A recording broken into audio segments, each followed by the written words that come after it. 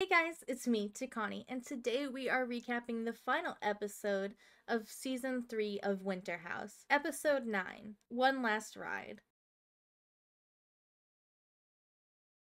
We continue on with Malia and Sam arguing. Sam accuses Malia of wanting a relationship with Kory, and Malia's like, I don't want a relationship with Kory. I don't know how I can make that any more clear.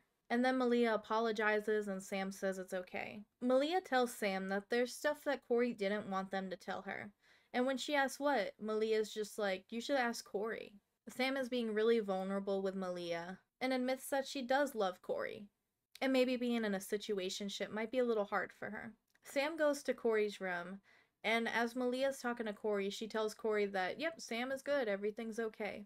So Amanda and Casey go to check on Sam. Sam wants Kory and her relationship to be serious, and she wants to define it. But she doesn't want to be the one that defines it. Kory then finally goes to check on her. And then Sam tells Kory that Malia said that Kory was telling everyone they were in a situationship. And Kory just flat out lies to her and said that he never said those words. Sam asks Kory, Well, what are we? And he's like, Well, I guess we're dating and they finally define their relationship as boyfriend and girlfriend. Amanda goes to bed early because she's got an early morning flight. Danielle talks to Alex and asks if they can be more than friends, and he says no. And then Alex goes to his bedroom and goes and lays down. Brian and Casey also both go in there, and then Casey pretty much lunges at Brian and kisses him. And then they're just making out on top of poor Alex. Alex gets up out of his bed and then he goes to Malia's bed and just goes to sleep in there. Casey and Brian move to Brian's room and make out. Katie and Schwartz are making out in Katie's bed. I, I don't know what was in this food, but pretty much everybody's making out with somebody. Except for Alex and Danielle, where Danielle's just upset and Alex is sleeping. It's the next morning and Amanda leaves, and it's everybody else's last night here. Danielle goes to Alex's bed this morning and tries to bang, and he says no again. Meanwhile, in Kory's room, Sam asks Kory what he wanted everyone to avoid telling her. And Kory admits that Casey called her trash. Everyone goes out into the kitchen, and Sam announces to the house that she and Kory are finally dating. Danielle pulls Alex from the hallway into a bathroom, and they bang it out again, despite Alex literally saying no earlier. But Alex says he's just a man. So, what was he gonna do? Say no? It's their last day here. How much worse can it be? Literally, after banging Danielle in the bathroom, he goes to Jordan in the kitchen and he's already flirting with her. Everyone goes snowboarding, and then afterwards, Sam pulls Casey aside to confront her about talking trash. Casey apologizes for spreading gossip and calling Sam trash. And then they hug it out and make up. Schwartz is making drinks for him and Katie, and he's gonna take her out on a date in the backyard. So Danielle goes in the backyard and pretty much sets up a cute little table and makes it look super adorable.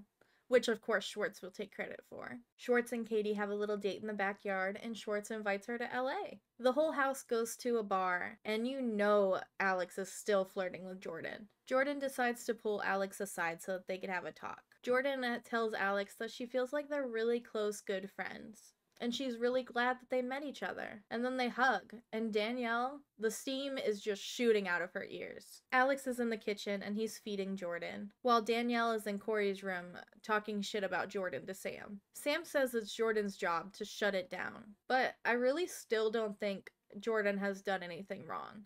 Like she's been kind of like accepting his flirting and like a little bit of flirting back, but she hasn't really done anything. It's not like she's been twerking up on him or like licking him or anything, you know? Casey crawled into Katie's bed where Schwartz was sleeping, and she straight up just passed out. Well, when Katie joined Schwartz in bed later so that they could, you know, do stuff, Katie climbs over Schwartz and kicks poor Casey in the face. But Casey is so drunk, she's just sound asleep and doesn't notice. So when Katie was like feeling around the dark, like, what did I just kick? What was that? She realizes it was Casey and she's like, oh my gosh. And then she starts pulling Casey out of the bed to get her to move and go to her bed so that she and so that Katie and Schwartz can, you know, do a little kiss kiss and whatever. Alex changes the song and Jordan's going to change it back on her phone. And then Alex wraps his arms around her and Danielle, like no joke, I'm pretty sure she lost it Danielle runs over and pushes them away from each other. And then she just starts yelling at Jordan about how she's an uncool girl, and if she was a cool girl, she wouldn't be flirting with the guy that's banging her. Alex literally just leaves and runs to his bedroom. and goes to sleep. And Danielle and Jordan pretty much just yell at each other, and Danielle's like, I'll eat you up, I'll eat you up. And Jordan's like, You keep saying that, but you're all bark. You're all bark. and Jordan's like, You keep saying that, but you're all bark and no bite, all bark. Everyone tries to keep Jordan and Danielle away from each other, and Danielle goes to her bed and just sobs herself to sleep. The next morning, Jordan comes upstairs, and Alex apologizes for just kind of leaving her to the wolves last night.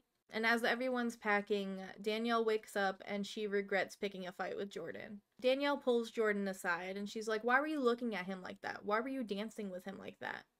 And Jordan's like, I was dancing with him the same way I was dancing with Kyle, the same way I was dancing with Brian. I don't know what you're talking about. Danielle then apologizes and they pretty much hug it out, agreeing not to let Alex come between them.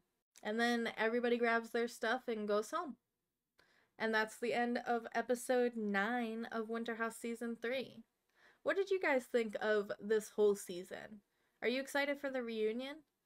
I've already got like some notes written down from the reunion because I I wrote I was just going to uh, recap the reunion, but I was curious about the context, so I had to go and write the show. So right now I'm rewriting the reunion video because obviously my thoughts have changed a little bit. I still think Alex is super messy, and I think Danielle overreacted considering the fact that they both agreed to be friends with benefits. I can kind of see why Danielle's so mad. Because, like, Alex literally would not stop flirting with Jordan. But Danielle just kept sleeping with him. You're basically rewarding him for bad behavior.